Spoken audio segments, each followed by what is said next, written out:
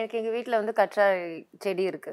God வந்து எங்களுக்கு நிறையவே கொடுப்பாரு. ஸோ நான் என்ன பண்ணுவேன் ஷூட்டிங் இல்லாத சமயத்துல ஒரு மூணு நாலு லீஃப் எல்லாமே எடுத்துட்டு ஃபுல்லா க்ளீன் பண்ணி ஐஸ் கியூப் பாக்ஸ் இருக்கு இல்லையா?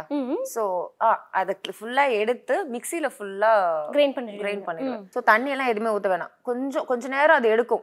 நம்ம ஸ்பூன்லயே அது ஃபர்ஸ்ட் டைம் பண்றது கொஞ்சம் கஷ்டமா இருக்கும். கொஞ்சம் குட்டி குட்டியா பண்ணி நம்ம பண்ணிட்டோம்னா நல்லா தின்னாயிரும் ஸோ அதுக்கப்புறம் ஃபுல்லா ஐஸ் கியூப்ல ஊத்திடுவேன். ஸோ அது எப்படி பார்த்தாலும் ஒரு நிறைய வரும் தேர்ட்டிக்கு மேலே வரும். ஸோ மார்னிங் எந்திரிச்ச உடனே ஃபேஸ் வாஷ் பண்ணிட்டு போய் அந்த ஐஸ் கியூப் எடுத்து போட்டுருவேன் ஒரு ஃபிஃப்டீன் மினிட்ஸ் டெய்லி அதை பண்ணுவேன்.